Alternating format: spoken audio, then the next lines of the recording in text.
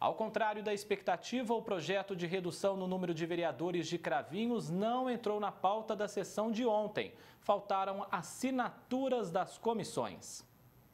Ou a população sabia disso, ou também não tinha interesse nenhum no objetivo do projeto, que reduzia para nove o número de vereadores da cidade.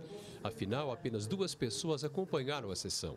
Ele foi dado entrada na Câmara através de iniciativa do presidente da Idilidade e mais seis parlamentares. A Câmara Municipal de Cravinhos tem 13 vereadores. Cada um recebe em média R$ 8.200, fora os encargos.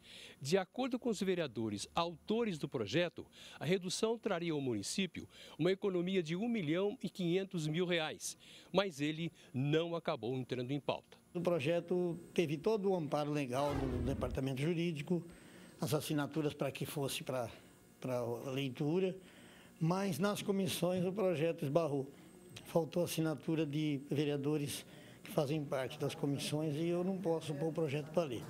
Não colocando o projeto para ler agora, eu creio que vai ficar prejudicado, porque é um projeto de validade vencida, né? tem um prazo legal para ser votado. Segundo o presidente Cabelinho, ele deve se reunir ainda hoje com os vereadores, mas sem muita perspectiva de mudança. O prazo de 10 dias que nós temos legalmente não vai dar para ser apreciado. Infelizmente, eu acho que vai barrar o projeto. Amanhã nós vamos reunir, mas eu creio que não, se não me chegou às comissões, algumas assinaturas que faltaram, me prejudicou o projeto. Até uma réplica do cheque no valor que representaria a economia para o município foi elaborado pelo presidente, com a intenção de apresentar à população na sessão de ontem.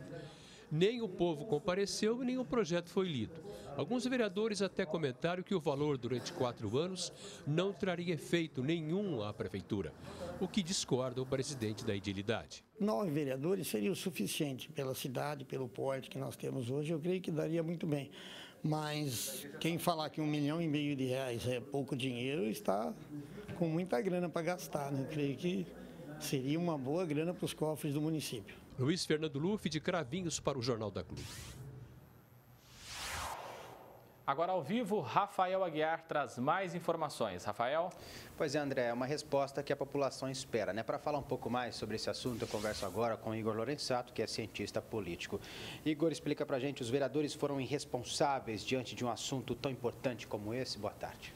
Boa tarde a todos. Sim, foram responsáveis na medida em que era um anseio né, da população de Cravinhos é, em ver esse projeto, ao menos ir a plenário né, e ver a posição de cada vereador, se aumenta, se diminui ou se mantém o número de cadeiras. Né? Acredito que sim, deveria ter tido um pouco mais aí de expertise para ser levado a plenário esse projeto. As câmaras têm até outubro, um ano antes das eleições, para alterar o número de vereadores. Ainda dá tempo dos parlamentares de Cravinhos votarem essa matéria? Esse prazo é porque toda alteração na lei eleitoral ela deve ocorrer um ano antes das eleições. Como nós temos eleições em outubro do ano que vem, é, ela deveria ter ocorrido agora, entre 4 e 6 de outubro.